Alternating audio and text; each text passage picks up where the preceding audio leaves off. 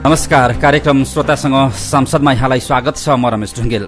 तपाईँले यो कार्यक्रम image FM ninety seven nine र image news FM hundred three point six सँगै पश्चिमाञ्चलको लोकप्रिय FM radio Shaligram hundred point six megahertz Kushma Parbat र रेडियो हाम्रो पाइला FM ninety one point six जाजरकोटबाट पनि हामीलाई सुनिरहनु भएको छ। कार्यक्रममा हामीले मुलुकको पछिल्लो राजनीतिक स्थितिका बारेमा व्यवस्थापिका संसदमा प्रतिनिधित्व गर्नुहुने नेपाल गर्नुहुने एकजना सांसदसँग छलफल गर्ने गरेका छौं।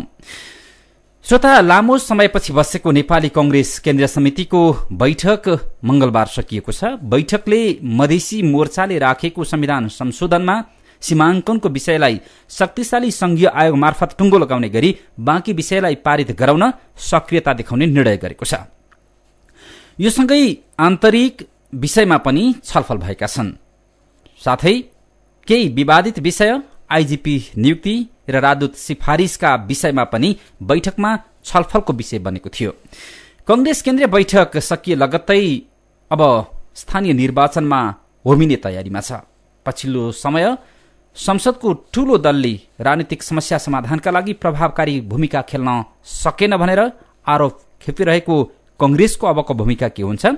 कंग्रेस स्थानीय तहको निर्वाचनमा कुन एजेण्डा लिएर जान्छ? समग्रमा केन्द्रीय समिति बैठक कस्तो रह्यो? यी अनि यस्तै सवालमा आज हामीले पर्वत क्षेत्र नम्बर एकबाट व्यवस्थापिका संसदमा प्रतिनिधित्व गर्ने नेपाली कांग्रेसका केन्द्रीय सदस्य तथा सांसद अर्जुन प्रसाद जोशीलाई आमन्त्रण गरेका छौं।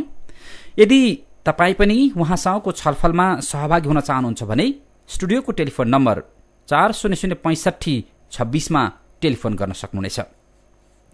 तपाईँले आफ्ना प्रश्न राख्दा शिष्ट भाषामा बुझिने गरी एउटा मात्रै प्रश्न राखिदिनुहोला। तपाईँले राख्ने प्रश्न र तपाईँका शब्दले तपाईँको पहिचान गराउनेछ।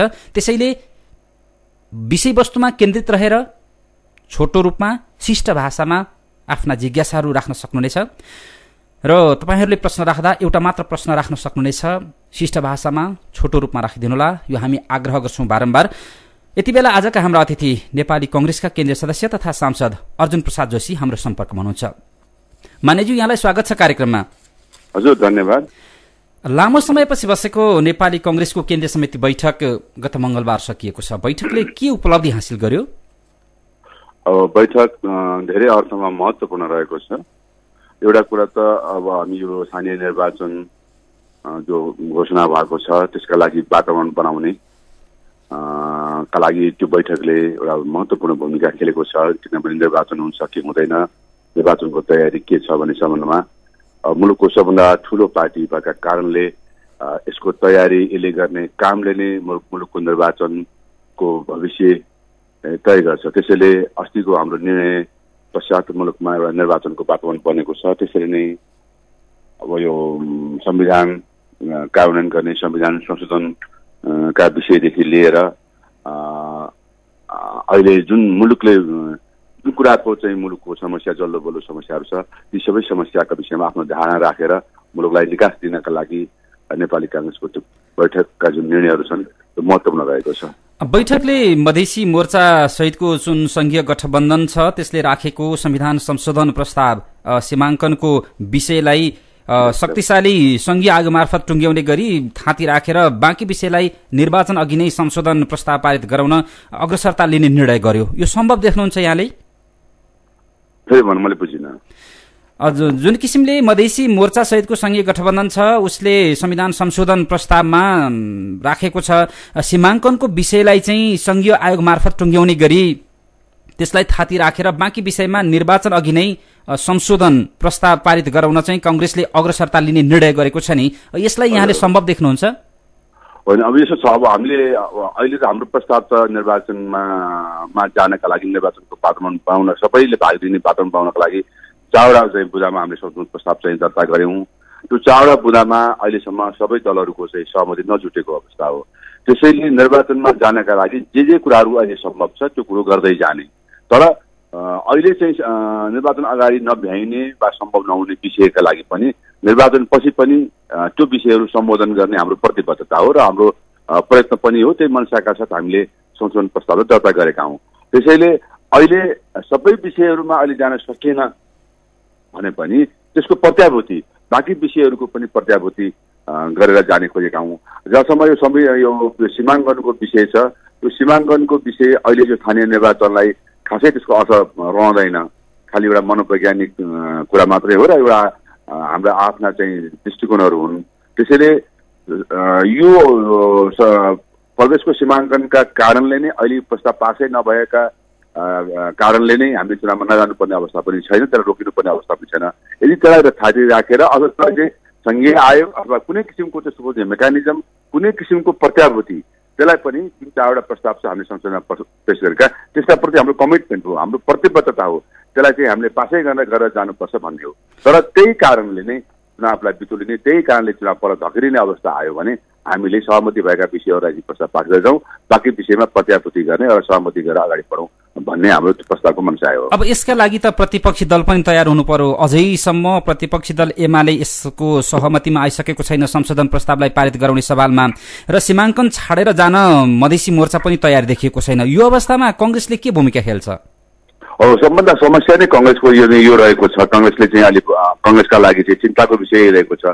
हामीले संविधानलाई यत्रो दुःख गरेर संविधान बनायौँ यत्रो मेहनतका साथ संविधान बनायौँ। सबैको सहमतिमा केही साथीहरूको केही दलहरूको असहमति रहे पनि अत्याधिक अत्याधिक चाहिँ सहमति हामीले संविधान बनायौँ। तर यो संविधानलाई कार्यान्वयन गर्नेतिर हामीको चाहिँ यो गम्भीरता चाहिँ देखिएन भने यो चाहिँ संविधान अप्ठ्यारोमा पर्न सक्छ। त्यसैले यो संविधानलाई साँच्चै हामी चाहिँ मनैदेखि कार्यान्वयन गर्न खोजेका हौँ। यो संविधानका प्रति हामीले अपनत्व महसुस गरेका हौँ भने यो संविधानलाई कार्यान्वयन गर्न बाधा परेका विषयहरूमा हामीले त्यसको अडानको चाहिँ थाप्न पनि हुँदैन। अब एउटा पछि एउटा चाहिँ अचम्मको कुरो छ। यत्रो ठुलो संविधान हामीले चाहिँ जनतालाई चाहिँ सम्पर्क बनाएका छौँ जनताको सर्वोच्चलाई स्थापित गरेका छौँ। सबै काम कारवाहीहरू जनता वा जनताका प्रतिनिधि मार्फत प्रतिनिधि संस्था मार्फत गर्ने भनेर मुख्य प्रमुख उपलब्धि मध्येको चाहिँ यो संविधानको एउटा उपलब्धि हो।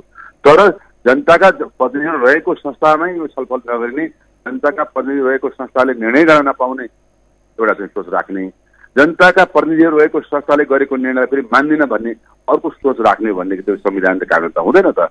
संविधानका प्रतिको चाहिँ कसैको चाहिँ यो गम्भीरता त देखेन त। त्यसैले मान्दिन भन्ने कुरोलाई पनि चाहिँ अहिले चाहिँ हामीले राख्न भएन। र अहिले त्यही कारणले नै हामीले चाहिँ विश्वको बाटो पनि जान्छ भनेर कुन बाटो जाँदाखेरि त्यो विश्वको पनि बाटो हो। हामीले चाहिँ सकभर हाम्रो प्रयत्न छ। प्रमुख प्रतिपक्षलाई हामीले भनिरहेका छौँ। तपाईँहरूको यही अडानका कारण अहिले संविधान अप्नाउनु पर्यो।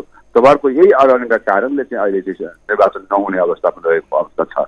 त्यसैले ठिक छ अहिले चाहिँ संविधानको चाहिँ यो सीमाङ्कनको विषयलाई चाहिँ हामी सहमति जिताउन सकेनौँ सहमतिको वातावरण बन्न सकेन भने यसलाई चाहिँ एउटा चाहिँ सङ्घीय आयोग शक्तिशाली सङ्घीय आयोग बनाएर जाउँ भन्ने कुरामा पछिल्लो अवस्थामा केही लचक देखिएको हो कि भन्ने चाहिँ देखिएको छ प्रमुख प्रतिपक्षको त्यो पनि अब आगामी दिनमा चाहिँ त्यो पनि उहाँहरू मान्ने हो कि नपान्ने थाहा हुने जाला। कसले सोचेको थियो कि नेकपा एमाले पार्टी जसले आफूलाई चाहिँ लोकतन्त्रको मूलधारमा आइसके भनेको पार्टीले लोकतन्त्रको आधार स्तम्भ जहाँ संसद छ संसदले गरेको संसदमा कुनै पनि विषय प्रस्तुतै गरेर दिन्नौ। भनेर भन्ला भनेर कसले सोचेको थियो?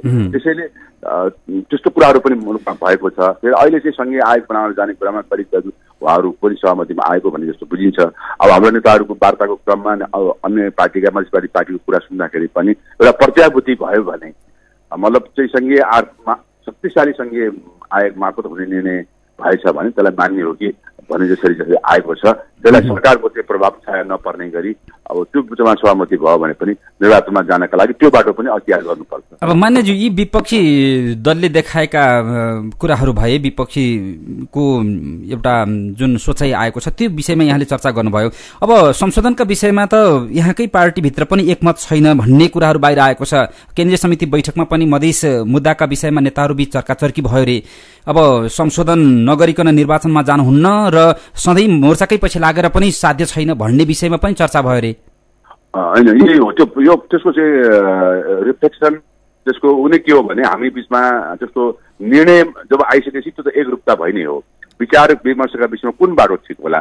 एउटा कुरो सयका सय काङ्ग्रेसका सबै केन्द्रीय सदस्यहरू काङ्ग्रेस केन्द्रीय समिति एक ढिक्का रूपले के सहमति भयो भने अहिले जसरी पनि निर्वाचनमा जानुपर्छ वैशाख एक गतिको निर्वाचनलाई जसरी सम्पन्न गर्नुपर्छ भन्ने कुरामा हामीमा सम्पूर्ण चाहिँ मत ऐक्यता रह्यो। बाटो कुन हो भन्ने विषयमा हामी छलफल चाहिँ निश्चित रूपमा स्वाभाविक छ। अहिले चाहिँ संविधान संशोधन नगरिकन जाँदाखेरि निर्वाचनको सबै पक्षले निर्वाचनमा भाग लिने वातावरण बन्दैन कि भन्ने एउटा तर्क आएकै हो। हामीले यथाशक्य प्रयत्न चाहिँ गर्ने हो र बाँकी अहिले सहमति नभएका विषयलाई पछि गरेर भए पनि जानुपर्छ निर्वाचनबाट पछाडि हट्न हुन्न। तर चाहिँ हामीले चाहिँ प्रस्तुत गरेका जुन चारवटा कुराहरू छन् त्यसबाट पछाडि हट्न हुन्न भन्ने कुरामा त सबैको सहमति चाहिँ रहेकै हो। त्यसैले काङ्ग्रेसभित्र त्यस्तो खालको मतभेद चाहिँ रहेकै छैन। हामीले विभिन्न बाटोहरू अहिले चाहिँ नै सम्पूर्ण रूपमा चाहिँ संशोधन गरेर नजाँदाखेरि यदि कथम कदाचित कुनै दल वा भूभागका मान्छेहरूले चाहिँ चुनावमा भाग गरिने अवस्था आयो भने मुलुकमा समस्या आउँछ कि भन्ने एउटा प्रस्ताव आएकै हो। त्यो स्वाभाविक पनि हो स्वाभाविक पनि हो। अहिले हामीले कुनै दल विशेषलाई अहिले हामीले त्यो निर्वाचनबाट चाहिँ पछाडि बाहिर राख्ने भने मानौँ यो मधेसकै कुराहरू गरौँ। मधेसवादी पार्टीका कुराहरू सुन्दाखेरि उहाँहरू सम्पूर्ण यो निर्वाचनबाट बाहिर रहने भने मुलुकको भविष्य के रहने संविधान कानुनको अवस्था के रहने मुलुकको शान्ति सुरक्षाको अवस्था के रहने संविधानको सर्वस्वीकार स्वीकार्यताको अवस्था के रहने भन्ने छलफलको विषय त हो नि। अब त्यो विचारहरू आएका हुन् तर समग्रमा हामी चाहिँ के कुरामा सहमति भएका हौँ भने चारवटा बुँदा छ त्यसमा चाहिँ पछाडि हट्ने होइन कुनै बुँदाबाट पछाडि हट्ने होइन तर कुन अहिले गर्ने कुन पछाडि गर्ने तर चारैका बुढा बुढाप्रति हाम्रो चाहिँ प्रतिबद्धता छ भन्ने कुराको एक एक एकता छ। अब निर्वाचन अपरिहार्य हो भन्दा भन्दै पनि निर्वाचन आयोगले दुई नम्बर प्रदेशमा निर्वाचन गराउने वातावरण भएन वातावरण बनाइदिनुहोस् भनेर सरकारलाई भनिरहेको छ। अझै पनि ती समस्याको समाधान हुन सकेको छैन। निर्वाचन आयोगले यसरी भनिरहँदा दुई नम्बर प्रदेशका गाउँपालिका भए निर्वाचन कार्यालय भए जिल्ला समन्वय समितिहरूमा ताला लागेको अवस्था छ प्रदर्शनहरू भइरहेको छ घेराउ भइरहेको छ। यसबाट निस्किने उपाय त देखिएको छैन अहिलेसम्म। अनि यसले आम सर्वसाधारणमा चाहिँ निर्वाचन हुँदैन कि भन्ने शङ्का छ। यहाँलाई के लाग्छ? यो के हो भने मलाई चौसठी सालको यो संविधान सभाको चुनाव लड्दै गर्दाको मलाई सम्झना छ।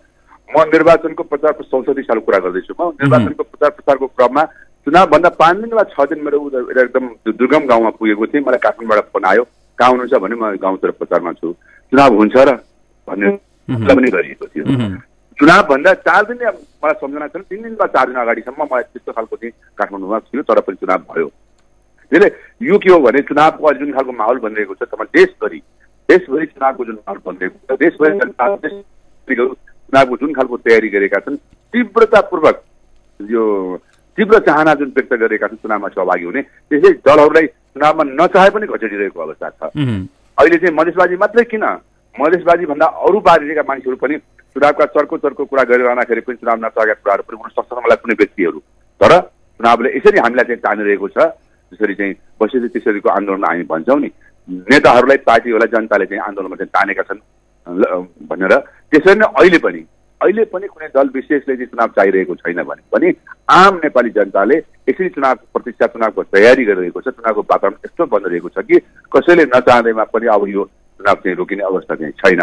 र निर्वाचन आयोगले अब केही राष्ट्रिय समस्याहरू त छन् त यो त सत्तामा आएको छ। तपाईँले जे प्रश्नहरू गरिरहेको गरिरहनु भएको छ मलाई यो चाहिँ यही फेरि फेरिमा अथवा यसै सन्दर्भमा यो चाहिँ अहिले हामीले चाहिँ हुनु परेको समस्याको वरिपरि नै आएका छन्। त्यसैले चौन्न साल जस्तो वा अडचालिस साल पचास साल जस्तो स्वाभाविक सहज अवस्था नभएको कारणले केही प्रश्नहरू केही दलहरूको प्रतिक्रियाका कारणले केही शङ्काहरू जन्मेका होलान्।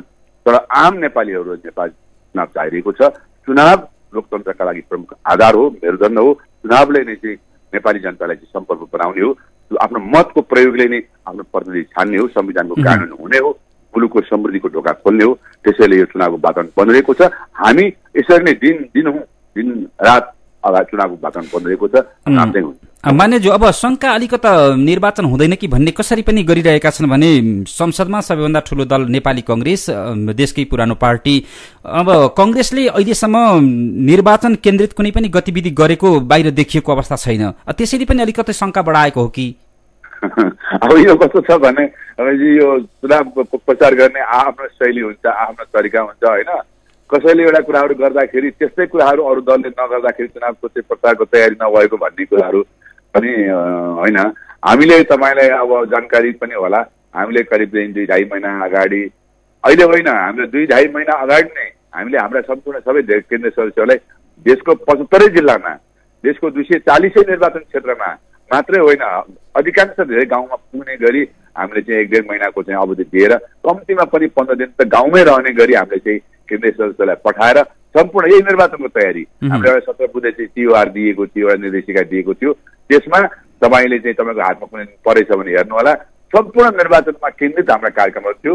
त्यही कार्यक्रमहरू सकेर हामीले चाहिँ गाउँ गाउँसम्म पुगेर सभा गोष्ठी ट्रेनिङहरू सबै चाहिँ गरेर अनि चाहिँ पार्टीको आफ्नो स्थिति के छ अरू पार्टीसँगको स्थिति के छ यी सबै पार्टीका सबै चाहिँ निकायहरू चुस्त दुरुस्त छन् कि छैनन्?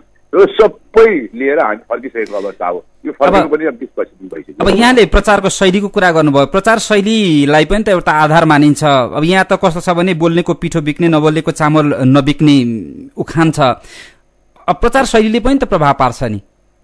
होइन त्यो त आफ्नो शैली हो। अब हामीलाई चाहिँ एउटा कुरा के हो भने कसैलाई यो संविधान संशोधनदेखि लिएर मुलुकको निर्वाचनको वातावरण बनाउनु थिएन डन्का पिटेर ढोल पिटेर एकदम चाहिँ हिंसात्मक आक्रमक ढङ्गले प्रचार गर्नु थियो देखाउनु थियो होला। हामीलाई मुलुकको समस्याको समाधान पनि गर्नु थियो रमेशजी। हामीले मुलुकको चाहिँ चुनावको वातावरण भन्दै नगर्ने चुनावको लागि वातावरण बनाउँदै नमाउने हलो हलो अड्काएर काठमाडौँमा चाहिँ के अरे संसदमा चाहिँ चुनावको चाहिँ हलो अड्काएर अनि गाउँ गाउँमा कुदेर चुनाव मात्रै गरेर त अनि चुनाव कसले गरिदिने? कसरी हुन्छ? त्यसैले पहिला चुनावको वातावरण बनाउनको लागि पनि हामी दलहरूको बिचको सहमति हामीले खोज्नु परेको थियो। दलहरूको बिचमा चाहिँ गहन र चाहिँ घनीभूत वार्ता गर्नु परेको कुन बाटोमा जान सकिन्छ? पहिला हामीले भन्यौँ चारवटा चाहिँ प्रस्ताव दर्ता गऱ्यौँ त्यसलाई राखेर त्यसलाई पारित गरेर जाउँ। हुन्न भनिसकेपछि फेरि होइन एउटा प्रस्तावलाई चाहिँ पछि राखेर सँगै आयोग बनाएर जाउँ। होइन के बाटोमा जाँदाखेरि चुनावमा गर्न सकिन्छ केही वार्तामा पनि बस्नु परेको अवस्था हो नि। तर होइन अरू कुरामा हामी अब जाँदैछौँ।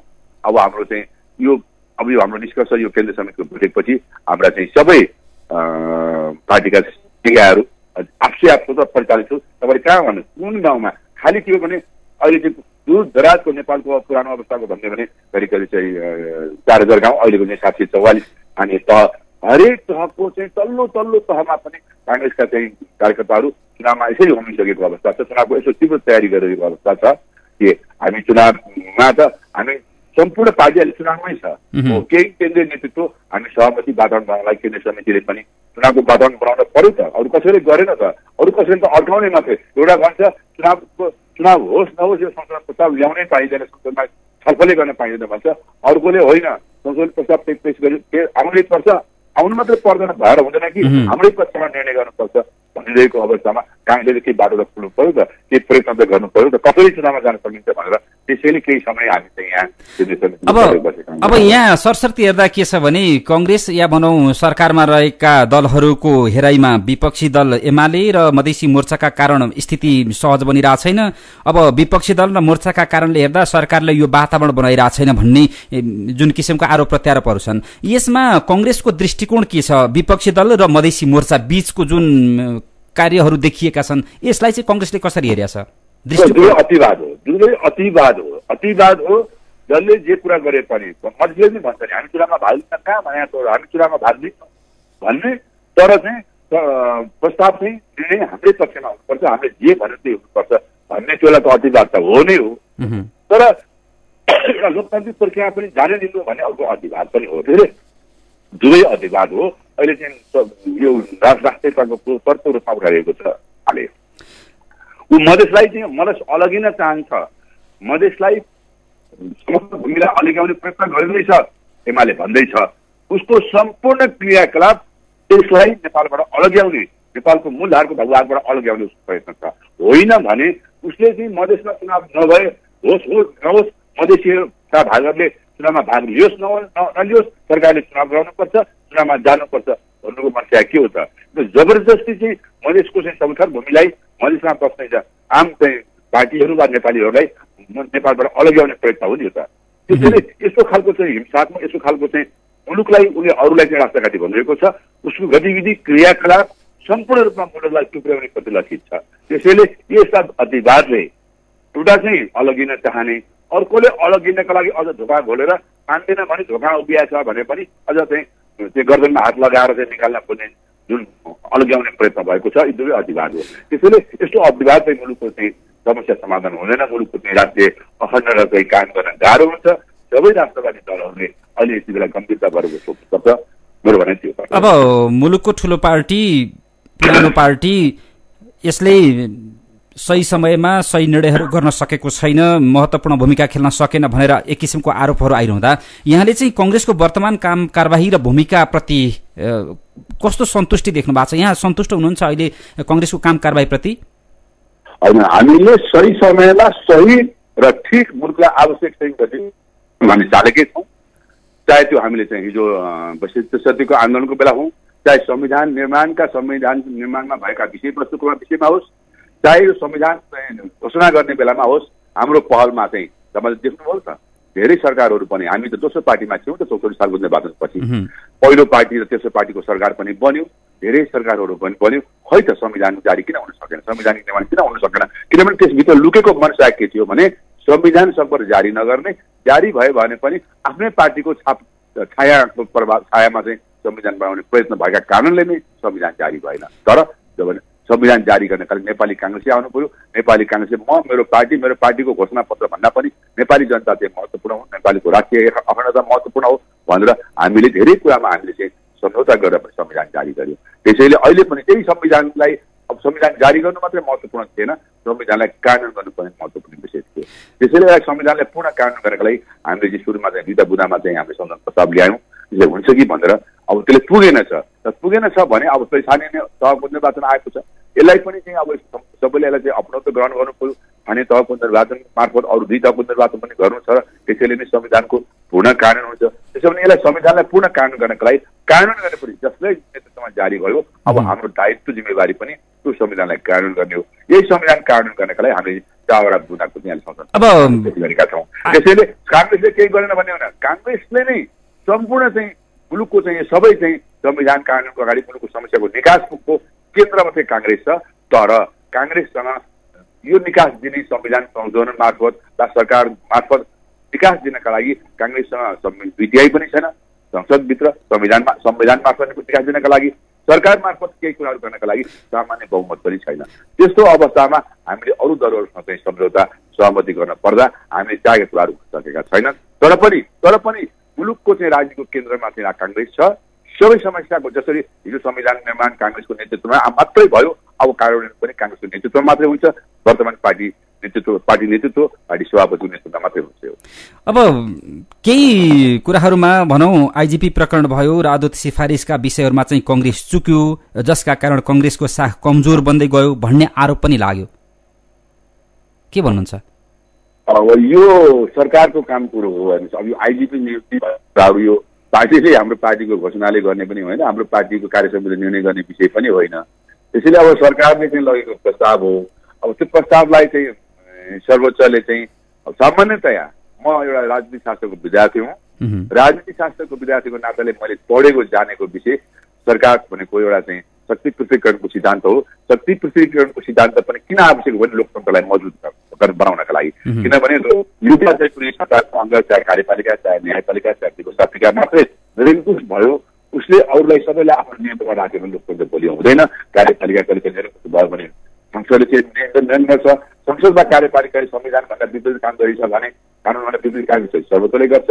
सर्वोच्चले पनि आफूलाई नै सर्वोच्च ठानेर कानुन नियमलाई तोडेर उसले चाहिँ लोकतन्त्रको मर्यादाबाट बाहिर गएर आएछ भने संसदले उसमाथि महाभियोगको प्रचार लगाउँछ त्यसैले यसरी चेक एन्ड ब्यालेन्स सक्छ यसो यस्तो अवस्थामा त लोकतन्त्र बलियो हुन्छ। अहिले सरकारले गरेको काम कारवाहीलाई अदालतले पछिल्लो अवस्थामा जसरी चाहिँ आवश्यक गरिएको भएको छ त्यो नितान्त म चाहिँ यो शक्ति प्रकरणको सिद्धान्तको विपरीत भन्छु। एउटा उदाहरणले संसदको चाहिँ अवधि संसद संसद त्यो संविधान संशोधन गर्ने जुन प्रस्ताव थियो चौसठी सालमा संविधान संशोधन गर्ने अधिकार चाहिँ संविधान सभालाई छ व्यवस्थापिका संसदलाई छ। तर त्यो संसदको अधिकारलाई पनि बेला बेलामा चाहिँ संसदले चाहिँ न्यायालयले चुनौती दिने गरेको छ। त्यो पनि योग्यता र क्षमतालाई ख्याल गर भन्नु नराम्रो हो र भने। ठिक छ अब त्यो योग्यता र क्षमता त्यो त गरेको सरकारले चाहिँ गरेको छ। तपाईँले भन्नु त्यो वरिष्ठ भएका मान्छेलाई दिनु भन्यो भनेदेखि त्यो निर्णय गर्नै परेन त। एउटा मुख्य सचिवको कुर्सी खाली भयो भने यो खालको जुन सिनियर छ त्यो सिनियर मान्छे गएर सरासरी गएर मुख्य सचिवको कुरामा कुर्सीमा बसे भइ भइगयो त। त्यसरी ज्येष्ठता भन्ने कुराहरू मात्रै कुराहरू होइन।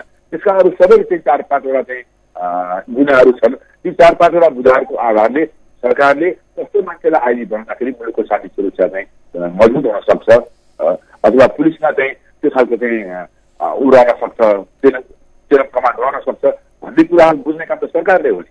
त्यसैले सरकारले गरेको काम कारवाहीहरूमा ती बुझा उसले गर्न सक्नु पऱ्यो अदालतले। यो यो बुझाहरूमा यो यो ठाउँहरूमा चाहिँ सरकारले चाहिँ कुराहरू गरेको देखिएन भन्नु पऱ्यो नि। अब त्यो नभनिकन एकमुष्ट रूपमा चाहिँ सरकारको निर्णयलाई चाहिँ जस्तो चुनौती गरिएको छ त्यो व्यक्ति महत्त्वपूर्ण कुरो होइन। व्यक्ति महत्त्वपूर्ण होइन। आज जो व्यक्ति आए पनि नेपाल प्रहरीकै मान्छे आउने हो बाहिरबाट आउने मान्छे. होइन।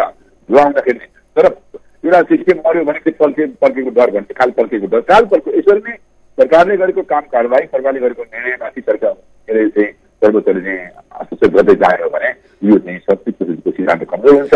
अन्ततः लोकतन्त्रमाथि चाहिँ प्रहार गर्ने तत्त्वहरू चाहिँ बलिआउँदै जान्छन् र त्यो चाहिँ प्रवृत्ति बढ्दै गयो भने त्यसको जिम्मेवारी पनि मुलुकमा लोकतन्त्र कमजोर भयो। र यो भयो भने त्यसको जिम्मेवारी पनि सर्वोच्च लिनुपर्ने हुन्छ। अब मानेज्यू अलिकति केन्द्रीय समिति बैठकतर्फै फर्कौँ हामी। लामो समयपछि कार्य सम्पादन समिति गठन भयो। यो गठनप्रति पनि केही नेताहरूको असन्तुष्टि देखियो। यसले यसलाई चाहिँ असन्तुष्टि कम गर्नका लागि चाहिँ कार्य सम्पादन समिति गठन गर्ने भनिएको थियो।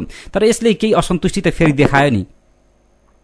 अब यो के हो भने अब यो कार्य समितिमा यो प्रस्ताव पास भइसकेको अवस्थामा मैले पनि त्यसमा विषय नलेखेका कारणले अब मेरो असहमति मैले व्यक्त गरे पनि अब असहमति छ भन्ने एउटा मैले मिलेन।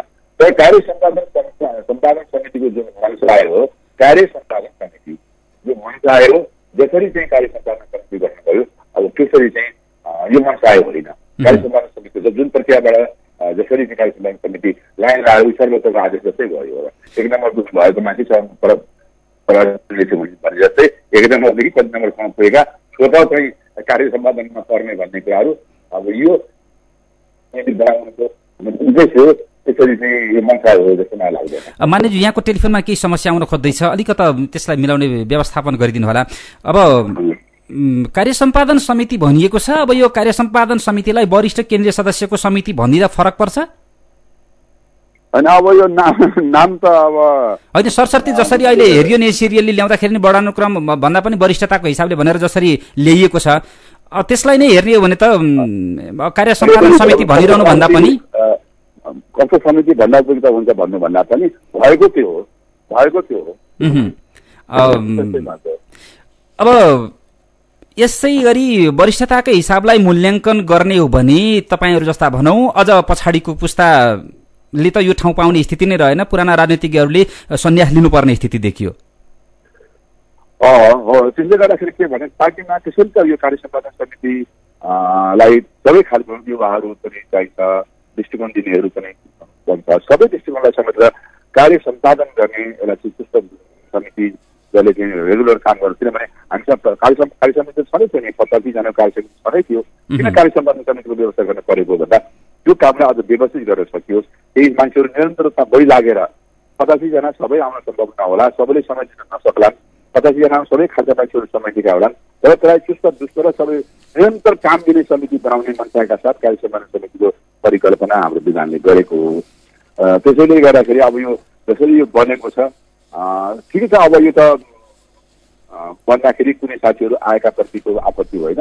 तर यो जुन विधानले कलि- परिकल्पना गरेको त्यस अनुरूप यो भएन कि भन्ने कुरा मात्र। होइन यसले त अब सदस्यहरूको कार्यक्षमताको कुरा भयो अनि पपुलर मत भन्ने पनि होला। पपुलर मत ल्या- मत ल्याउनेहरू जुन कार्यकर्ताबाट लोकप्रिय नेताहरू छन् उनीहरू त उनीहरूलाई पनि उनीहरूको त मूल्याङ्कन भएको देखिँदैन यसले। अब त्यो त अब तपाईँहरूको मिडिया मार्फत आयोस् त्यो सब केन्द्र सदस्य साथीहरूले पनि त्यो कुराहरू केन्द्र समितिमा राखि नै सक्नु भएको अवस्था हो। त्यो तपाईँले भने जस्तै सबै खाले जसको चाहिँ जिल्ला जनालाई समर्थन गर्ने चाहिँ शैली छ समर्थन गर्ने क्षमता छ ती साथीहरू रहनु पऱ्यो युवाहरू जसै चाहिँ नयाँ ढङ्ग नयाँ सोचलाई चाहिँ पार्टीमा प्रवेश गराउँछन्। अब हिजोको जस्तो हामीले चाहिँ नेपाली काङ्ग्रेसले चाहिँ सात सालको नेतृत्व गरेको थियो राणाहरूलाई चाहिँ हामीले समाप्त गरेका थियौँ। अझ भनौँ छत्तिस सालको नेतृत्व गरेका थियौँ। अझ भनौँ त्यो शक्तिको नेतृत्व हामीले गरेका थियौँ भनेर मात्रै पनि कुनै अवस्था छैन। नयाँ प्रविधिहरू नयाँ दृष्टिकोण नयाँ स्रोतहरू नयाँ आयामहरू राजनीतिमा थपिँदै आएका छन्।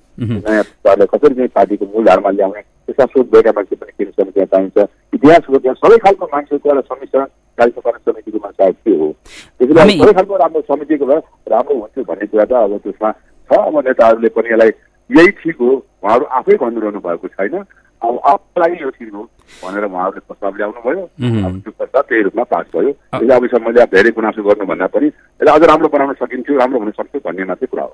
हामी image FM ninety seven nine र image news FM hundred three point six सिक्ससँगै पश्चिमाञ्चलको लोकप्रिय FM radio Shaligram hundred point six megahertz Kushma Parbat र रेडियो हाम्रो पाइला FM ninety one point six जाजरकोटबाट पनि बोलिरहेका छौं। आज हामीसँग व्यवस्थापिका संसदमा प्रतिनिधित्व गर्नुहुने नेपाली कंग्रेसका केन्द्रीय सदस्य तथा सांसद अर्जुन प्रसाद जोशी हुनुहुन्छ। उहाँसँग यदि तपाईँले आफ्नो जिज्ञासा राख्न चाहनुहुन्छ भने स्टुडियोको टेलिफोन नम्बर चार शून्य शून्य पैँसठी छब्बिसमा टेलिफोन गर्न सक्नुहुनेछ। अ, कोही श्रोता हुनुहुन्छ टेलिफोन सम्पर्कमा? को बोल्दै हुनुहुन्छ कहाँबाट? हेलो म विष्णुराज बान्ने बोले विष्णुजी। हामीलाई पनि बोल्ने मौका दिनु बडा कम समय दिनु तपाईँले हामीलाई। अ, विषय वस्तुमा केन्द्रित भइदिनुहोस्। तपाईँ त्यही नसिकाउनु हामी पनि तपाईँ जस्तै मान्छे हो। के भन्नु खोजेँ सांसद हजुर। तपाईँ जस्तै म पनि नेपाली काङ्ग्रेसको भोटर हुँ। तर विवेक। परे है म चाहिँ नि। म गणतन्त्र गिरिजावाला काङ्ग्रेस चाहिँ परिनँ। तर के भन्न खोजे भने सुशाङ्त कोइरालाले खुमाल खड्काले भनेको लाइनमा नगए पनि नेपाली काङ्ग्रेस भोलिका इन्डियाको काङ्ग्रेस जस्तो नहोला र विसर्जनवादी धन्यवाद। अब यो कुरा के हो भने अब यो पार्टीमा विचारहरू किसिमहरू सबै उहाँहरूका विचारहरू छन् सबै खालका विचारहरू आएका छन्। तर हाम्रो चाहिँ पार्टीले जे अहिलेका लागि जे निर्णय गरेको छ संविधानमा हामीले चाहिँ जे तय गरेका छौँ अहिलेका लागि चाहिँ त्यही नै बाटो हो। संविधानमा जे कुराहरूको विषय लेख तय भइसकेको छ त्यो बाटोलाई अहिले हामीले उठाउने एउटा प्रयत्न ठिक छ। आफ्नो विचारहरू आइरहेका छन्। केन्द्रीय समितिमा ती प्रस्तावहरू पेश भएका छन्। अँ, त्यो विचारहरू राख्दै जाने हो। जुन विचारमा सर्वस्वीकार्यता जुन विचारमा चाहिँ जन जनताको चाहना व्यक्त हुँदै जान्छन् त्यो विचारलाई हामीले मान्ने अर्को श्रोता हुनुहुन्छ टेलिफोन सम्पर्कमा। को बोल्दै हुनुहुन्छ कहाँबाट? हजुर नमस्कार। म काभ्रेबाट राम थापा। रामजी आफ्नो नमस्कार। नमस्कार नमस्कार रामजी। यहाँले अघि राम्रा कुरा गर्नुभयो। अब अडचालिस सालदेखि यता हेर्ने हो भने दुईचोटि जनताले तपाईँहरूलाई बहुमत पनि दिएको हो। बिचमा चाहिँ विभिन्न कार आफ्नै आन्तरिक कारणले के के भयो। अब जहाँसम्म त्यो अतिवादीको कुरा आयो अडचालिस सालमा तेस्रो ठुलो दल संयुक्त जनमोर्चालाई नेपाली काङ्ग्रेसले नै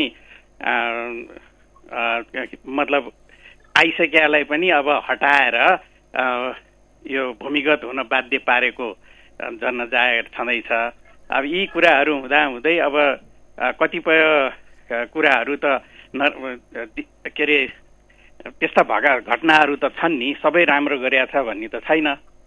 हजुर। धन्यवाद धन्यवाद। मानिज्यू हजुर अब ठिक छ अब तपाईँले भनेको अब हामीले चाहिँ कुनै पार्टीलाई हामीले चाहिँ जबरजस्ती संसदबाट बाहिर पुर्याउने त्यसलाई बाध्य पारेको एउटा पार्टीको आफ्नो दृष्टिकोण अनुसार चाहिँ नै आफ्नो पार्टीको लाइन तय गर्ने हो। आफ्नो चाहिँ योजना तय गर्ने हो त्यसैले उहाँहरूको त्यति बेलाको लाइन संसदभन्दा बाहिरै गएर हाम्रो चाहिँ पार्टीको काम पुरा उद्देश्य पुरा गर्छौँ भनेर हट्ने कुरा उहाँको हाम्रो कारणले हट्ने कुरो पनि होइन एउटा कुरो अर्को कुरो त्यही त्यही पाठबाट सिकेर त्यही पाठबाट सिकेर अहिले हामीले पनि के भने हामीले हिजो चाहिँ कुनै राजनीतिक दल संसदबाट बाहिर जाँदाखेरि मुलुकको व्यवस्थासँग असम्मत हुँदाखेरि जम्मा चाहिँ त्यति बेला उहाँहरूको कति सिट थियो धेरै थोरै सिट थियो चारवटा सिट थियो कतिवटा सिट थियो त्यति सिटका मान्छेहरू बाहिर जाँदाखेरि त मुलुकमा यत्रो चाहिँ पछि माओवादीको नाममा यत्रो ठुलो चाहिँ मुलुकमा चाहिँ चल भयो के अरे मुलुकै हल्लिने गरी चाहिँ भयो भने अब अहिले हामीले फेरि त्यही कुरो दोहोऱ्याएर संसदमा भएका संसदमा भाग लिएका मधेसवादी दलहरूलाई हामीले जबरजस्ती चाहिँ मूलधारको राजनीतिबाट बाहिर पुर्यायौँ चुनावमा चाहिँ भाग लिने परिस्थिति बनाएनौँ उनको चाहिँ मनोबल के अरे उनलाई चाहिँ तेजोबद्ध हुने गरी हामीले चाहिँ अलग्यायौँ।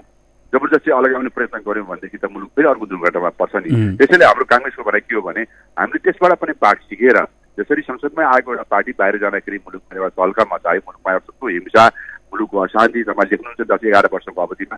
त्यस्तो अवस्थालाई मध्यनजर गरेर अलि सकभर हामीले चाहिँ सबै राजनीतिक दलहरूलाई त्यो मुलुकको चाहिँ यत्रो प्रयत्न पश्चात नेपाली जनताको यत्रो बलिदान पश्चात जुन संविधान बनेको छ यो संविधानमा अटाउने व्यवस्था गर्नका लागि नै काङ्ग्रेसले प्रयत्न गरिरहेको हो। धन्यवाद। अर्को श्रोता हुनुहुन्छ टेलिफोन सम्पर्कमा को बोल्दै हुनुहुन्छ म कमल सिंचौडी अ, कमलजी। नमस्कार अतिथिज्यू। हजुर नमस्कार। तपाईँहरूले जुन एउटा आइजिबी प्रकरणमा जुन खालको रवैया देखाइराख्नु भएको छ नि नेपाली काङ्ग्रेसले तपाईँलाई त्यो अधिकार छ कि छैन? दाजुलाई भाइ भाइलाई दाजु बनाउने अधिकार छ कि छैन? यो हामीले यो दाजुलाई भाइ भाइलाई दाइ हामीले बनाउने कुरो पनि होइन यो हाम्रो काङ्ग्रेसको चाहिँ अधिकारभित्रको कुरो होइन। यो सरकारको नितान्त सरकारको कुरा हो। त्यसले सरकारले गरेको काम कारवाहीका प्रति हामीले अब हुन त संसद संसदको सबभन्दा ठुलो दलका हिसाबले हामीले पनि लिनुपर्छ। तर काङ्ग्रेस पार्टीले निर्णय गर्ने विषय होइन। र अर्को विषय चाहिँ मेरो अघि भने जस्तै ठिक छ संविधानका कुराहरूलाई हेर्ने संविधान लागू गराउने संविधान विपरीत कुनै निर्णय भएको छ भने त्यसलाई हेर्ने अधिकार सदस्यको छ। र सँगसँगै लोकतन्त्रमा चाहिँ शक्ति पृथककरणको सिद्धान्त पनि धेरै महत्त्वपूर्ण हुन्छ। त्यसलाई पनि ख्याल गर्नुपर्छ भन्ने मात्रै हाम्रो मन आयो। मान्यज्यू जाँदा जाँदै अब एउटा जिज्ञासा राख्न मन लाग्यो। कंग्रेसभित्र एउटा यस्तो समूह छ जुन कुनै समय राजनीतिमा सक्रिय रूपमा थिए तर अहिले पार्टीको कुनै पनि भूमिकामा देखिँदैनन्। किनारामा परेका झैँ लाग्छ। उनीहरूलाई पनि भूमिका दिने सवालमा कंग्रेसभित्र कहिलेकाहीँ छलफल हुने गर्छ? छ प्रशस्त सम्भव छ हाम्रो विधानले व्यवस्था छ ज्येष्ठ राजनीतिक ज्येष्ठ राजनीतिक सभाहरू भनेर पनि हाम्रो पार्टीको विधानमै व्यवस्था त्यो गठन। हुन सकेका छैन?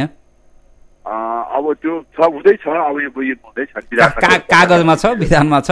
होइन, छ। अहिले पनि भएको छ नि विधानमा व्यवस्था भएका कुराहरू पनि कतिपय हुँदैछन् किनभने पहिला अब अहिले अ, भन्दा त विधानले दुई महिना भन्दाखेरि दुई महिना पहिला त हामीले दुई महिना हरेक कुराहरू हरेक निर्णयहरू नेपालमा के भएको छ भने हामीले हतारमा सबै चिजहरू गरिहाल्नु हुन्छ त्यसको परिणाम सम्भव छ कि छैन चाहे त्यो चाहिँ संविधान निर्माण चौसठी सालमा संविधान निर्माण गर्ने कुराहरू होस् या सबै कुराहरू होस् त्यसैले पार्टीको विधान दुई महिनाभित्र सबै गरिसक्नुपर्ने भन्ने कुराहरू अब त्यो दुई महिनाभित्र महिना जस्तो लाग्यो। त्यसैले अब यो अहिले कार्य सम्पादन समिति अहिले आएर गठन भएको छ। अब क्रमशः हुँदै जान्छन् केही कार्यक्रमहरू वर्षौँसम्म हुन नसकेका चाहिँ हाम्रो चाहिँ भारतीय संस्थाका अधिवेशनहरू भए अब ढिलै भए पनि कार्य सम्पादन समिति भएका छन् अब विभागहरू बन्दैछन् तपाईँले भने जस्तो कि यस्तो राजनीतिक सभाहरू चाहिँ बन्छन् सबै हुन्छन् अलिक ढिलो चाहिँ भएको हो। अ, मान्यज्यू यहाँले हामीलाई समय दिनुभयो समय र छलफलका लागि धेरै धेरै धन्यवाद। हजुर धन्यवाद उहाँ हुनुहुन्थ्यो व्यवस्थापिका संसदमा प्रतिनिधित्व गर्नुहुने नेपाली कंग्रेसका केन्द्रीय सदस्य तथा सांसद अर्जुन प्रसाद जोशी। आजलाई कार्यक्रमको समय सकिएको छ। कार्यक्रम सुनेर र टेलिफोन गरेर हामीलाई साथ दिनुहुने सम्पूर्ण श्रोतालाई धन्यवाद भन्दै प्रविधिमा बुकेश र अनिसलाई धन्यवाद भन्दै म रमेश ढुङ्गेल बिदा हुन्छु इमेज एफएम सुन्दै रहनुहोला। नमस्कार।